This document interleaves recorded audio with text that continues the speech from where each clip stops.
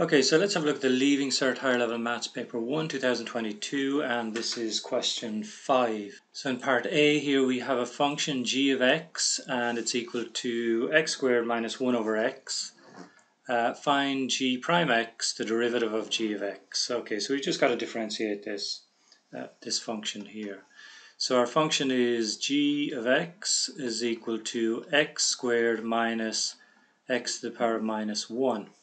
Remember 1 over x to the power of plus 1 is equal to x power minus 1. So we want g prime x. So bring down the power, reduce the power by 1. Bring down the power, so minus 1 times minus 1 is plus 1. And then we'll have an x here, and then reduce the power by 1, so that'll bring it down to minus 2. So we can rewrite that as 2x plus 1 over x squared. And that's it for part A. Okay, part B1. f of x is equal to 2x cubed minus 21x squared plus 40x plus 63. x is real. x plus 1 is a factor of f of x. Find three values of x for which f of x is equal to 0. Okay, so there are a couple of ways of doing this. Uh, first way I'm going to do it, I'll do it both ways, but um, one way is just by long division. So we just take, we're told that x plus 1 is a factor, which means it divides in evenly. So we take x plus 1 and we divide that into our function. So our function is 2x cubed minus 21x squared plus 40x plus 63. It should go in evenly and we should end up with a quadratic up here which we can factorize further. Find our other two factors and then uh, we want to, yeah, we want to find the roots, the three roots from our three factors. Okay, so uh, let's do that then. Um, now x into 2x cubed is 2x squared. So multiply now, you get 2x cubed plus 2x squared. Put a line underneath and subtract. So that will give us 0. This will become a minus, so we end up here with minus 23x squared. Bring down the 40x and start again. x into minus 23x squared is minus 23x. Now we multiply this by these two and put our answer down here. So minus 23x squared, minus times plus is minus 23x put a line underneath, subtract again, this will give us 0, this will become plus, so we get 40, 50, 63x, bring down the 63, so that's handy, divide the x into 63x, you get plus 63. Now multiply the 63 by this, put our answer underneath, so you get 63x plus 63 Again, you can see here that that will give us 0, this will give us 0, so we get 0 remainder. Okay, so when we divide this into this, we get this quadratic up here. So let's just have a look at that. So we have 2x squared minus 23x plus 63. So that there multiplied by our x plus 1 will give us this here. Now if we, we want to see where that's equal to 0, uh, we want to factorize this here. So that'll give us 2x here and x here. 63 then will be 7 nines, so let's put the 9 here, the 7 here, we got an x plus 1 out here.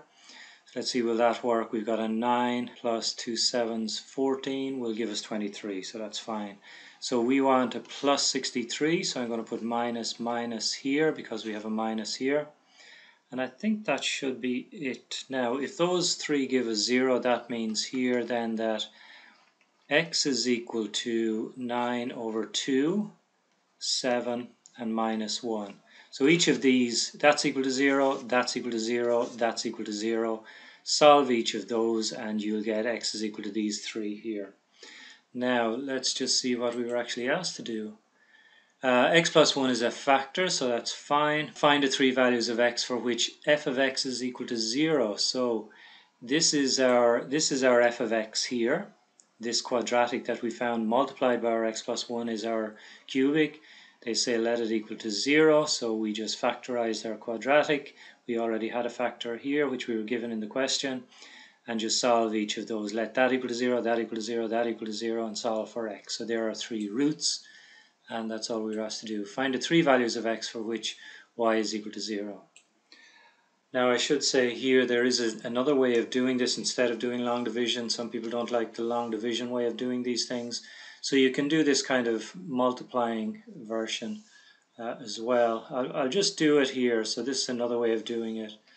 I find it a little bit longer. I prefer the long division, but maybe that's just me. Let's have a look. We have x plus 1. Now we know that if we multiply that by some quadratic, let's say ax squared plus bx plus c. If we multiply those two together, we should get this here. Okay, so that would be equal to our 2x cubed and so on. Now let's just multiply this out. So if we multiply this out here, we get ax cubed plus bx squared plus cx. So that's multiplying these three here. Now multiplying it by 1, we'll get uh, plus ax squared plus bx plus c.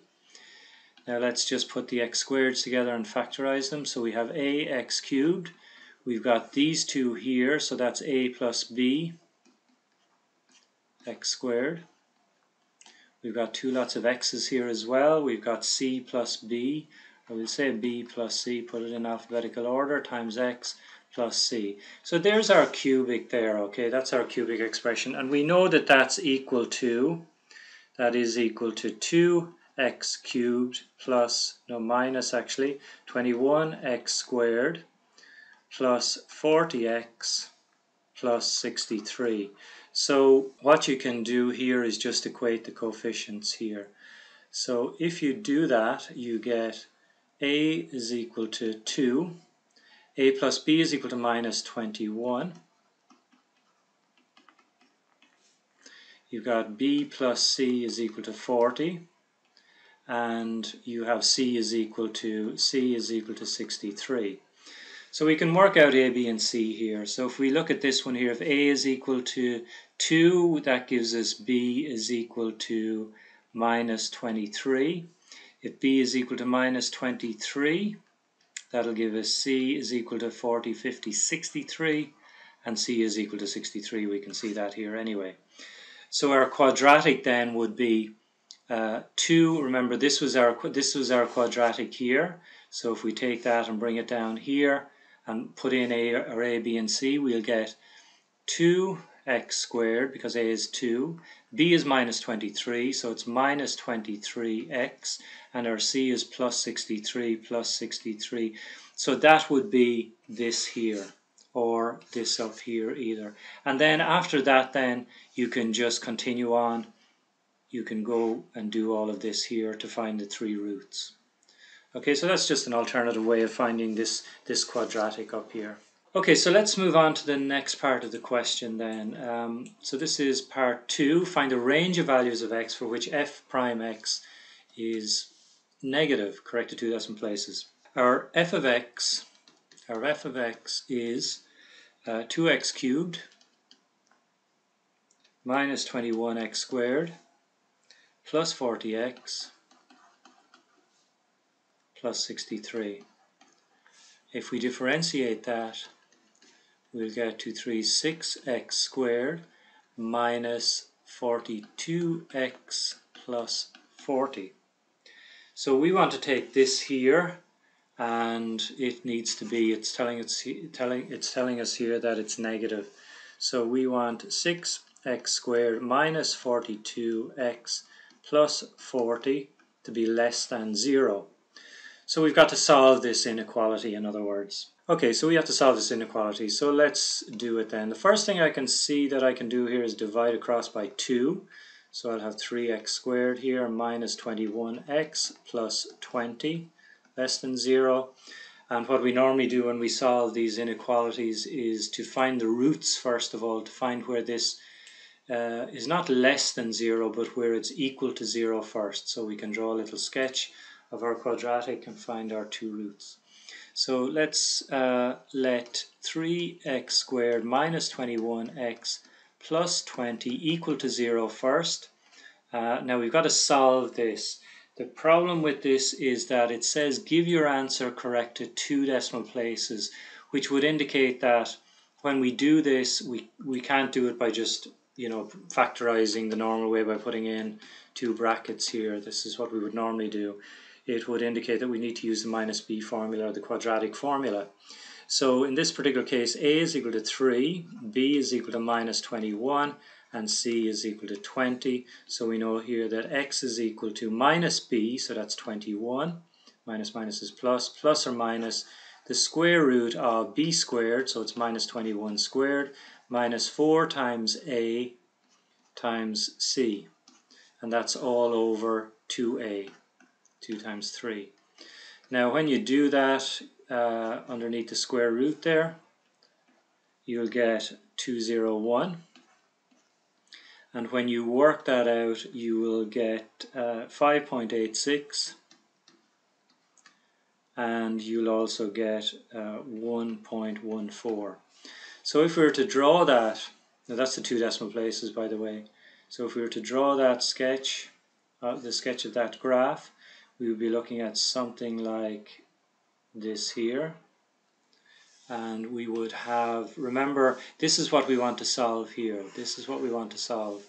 So we want to know where is y less than 0 we want y less than 0 this is y here. Y is less than 0 less than 0 well we have our two endpoints here. We have this here is 1.14 here and over here we've got 5.86